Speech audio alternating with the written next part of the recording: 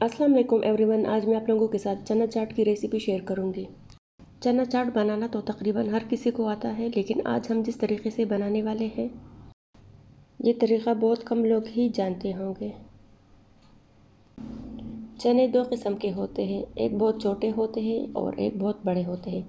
तो यह हमने बड़े वाले चने लिए हैं। यह हमने 150 ग्राम बॉयल चने लिए हैं। अब इसमें स्प्रिंग अनियन यानी कि हरा प्याज डाल देते हैं। अब दूसरे वाले प्याज भी डाल सकते हैं। लेकिन हरा प्याज डालने से चाट की खूबसूरती और बढ़ जाएगी। अब इसमें बंद गोभी ऐड कर लेते हैं। एक कीरा डाल देते हैं।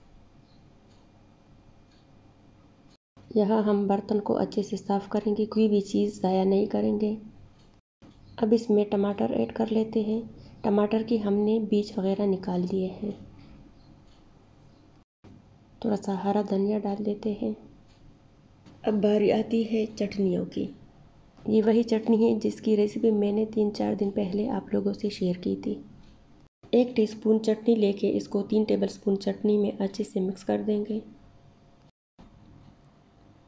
यह दही हमारा बहुत ज़्यादा गाढ़ा है। तो हम इसमें एक टेबल स्पून पानी डाल के थोड़ा सा पतला कर देते हैं।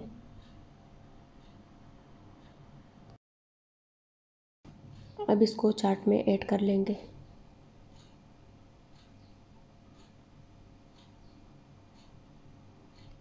अब बारी आती है इमली की चटनी की। ये चटनी भी मैंने दो तीन दिन पहले घर पे बनाई है। और इसकी रेसिपी भी मैं आप लोगों के साथ तकरीबन दो तीन महीने पहले शेयर कर चुकी हूँ। दो टेबल स्पून हमने इमली की चटनी डाल दी है। और आधा टेबल स्पून हम इसमें चाट मसाला ऐड करेंगे। ये मसाला बहुत ज़्यादा स्पाइसी है तो इसलिए मैंने आधा टेबल स्पून ही डाला है। और हम इसमें एक्स्ट्रा मिर्ची और नमक नहीं डालेंगे, क्योंकि चनों को बॉईल करते वक्त हमने इसमें नमक डाला था। और इमली की चटनी में भी हमने नमक डाला है। और ना ही हम इसमें लेमू का रस ऐड करेंगे, क्योंकि कटास के लिए इमली की चटनी और चाट मसाला काफ़ी है। सारी चीज़ों को अच्छे से मिक्स कर देंगे। और ये मज़ेदार सा चाट हमारा बिल्कुल रेडी हो गया है। रमज़ान में तो चना चाट और फ्रूट चाट के बग़ैर तो मज़ा ही नहीं आता। और ये वो चीज़ें हैं जो ज़्यादातर रमज़ान में ही खाई जाती है। आप लोग भी इस तरीके से चाट बनाते हैं, कमेंट में मुझे ज़रूर बताइएगा। और ये हमारा पहला इफ़ार था, जिसको हमने बहुत ज़्यादा इंजॉय किया था।